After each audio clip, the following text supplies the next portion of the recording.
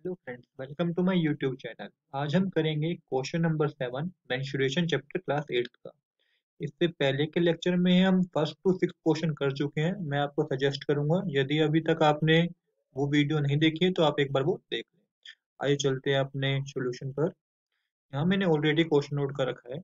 Two adjacent side of a parallelogram are 3.2 centimetre and 4 centimetre what is the ratio of their altitude हमें एक parallelogram given है, जिसकी हमें दो side given है, एडजस्टेंट साइड गिवन है 3.2 एंड 4 सेंटीमीटर हमें क्या पता करना है? हमें रेशो पता करना है इनके एल्टीट्यूड में। ये सीई e और एफ़ ए का हमें रेशो पता करना है। तो आइए जानते हैं दोस्तों कैसे हम कर पाएँगे इस क्वेश्चन को समझकर।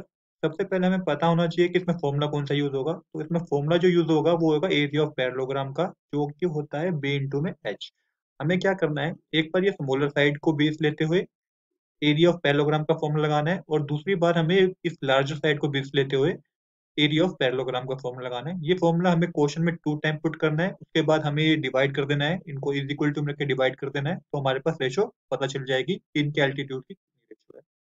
सबसे पहले चलिए शुरू करते हैं अपने सोल्यूशन को। सबसे पहले आप यहाँ पे फॉर्मूला लिख लीजिएगा, जो भी आपका फॉर्मूला है एरिया ऑफ़ पैरेललोग्राम का हमें पता है बी इंटू में एच होता है तो आप ये फॉर्मूला लिख लीजिएगा। अब यहाँ पे आप लिखिएगा area of parallelogram area of parallelogram with smaller side, with smaller side is equal to b into में h. सबसे पहले हम एरिया ऑफ़ पैरेललोग्राम निकालेंगे स्मॉलर साइड को बेस मानते हुए।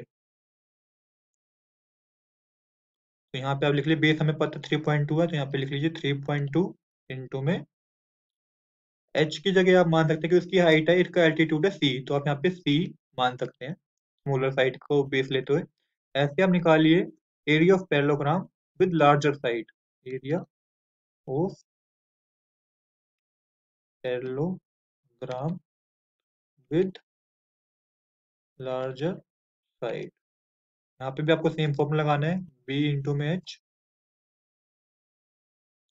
अब यहाँ पे आप वैल्यू पुट कीजिए जो हमने लार्जर साइड है, वही हमारा बेस होगा यहाँ पे। यहाँ पे आप लिखेंगे फोर इंटू में इसका जो एल्टीट्यूड होगा, आपके पास एल्टीट्यूड होगा एफ़ ए अब दोस्तों, हमें क्या निकालनी है? हमें निकालनी है रेशियो ऑफ़ पैरेललोग्राम यहाँ पे लिखिए रेशियो ऑफ़ पैरेललोग्राम तो अब क्या करना है रेशियो निकालने के लिए आपको इन दोनों को इज़ इक्वल टू में पुट कर दीजिए। Three point two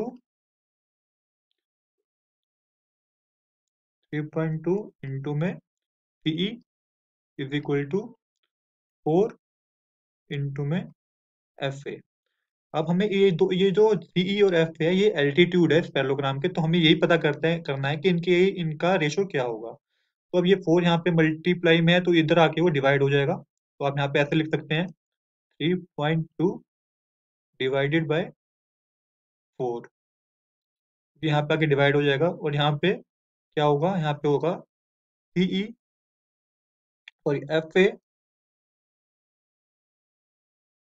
divided by C E F A divided by C यहाँ पे क्योंकि सी इधर आ जाएगा और फोर जो है, ये थ्री पॉइंट टू के नीचे चला जाएगा। अब आप इसको सोल्व कीजिए। यहाँ पे जब आप करोगे इसको सोल्व तो ये हो जाएगा थ्री पॉइंट टू है तो आप इसको थर्टी टू मान लीजिए और उसको पॉइंट की एक ज़ीरो आप फोर के पास हाथ लगा दीजिए तो फोर्टी बन जाएगा। अब यहाँ पे आप इज़ इक्वल टू फिर ये लिख लीजिए, F A divided by T.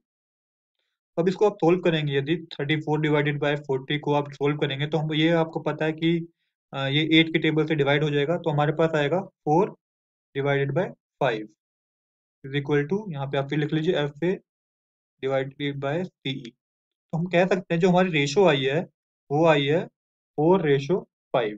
कितनी आई है? फोर रेशो फाइव हमारी रेशो आई है रेशो ऑफ़ एल्टीट्यूड निकला है हमारा। तो यही हमें क्वेश्चन में पता करना था कि हमारा रेशो का एल्टीट्यूड एल्टीट्यूड क्या है रेशो में? What is the ratio of their altitude तो हमारी रेशो ऑफ़ एल्टीट्यूड है फोर रेशो फाइव यदि दोस्तों अभी तक आपने चैनल सब्सक्राइब नहीं किया है तो मैं आपको सजेस्ट करूँगा कि आप ये चैनल सब्सक्राइब कर लें। Thanks for watching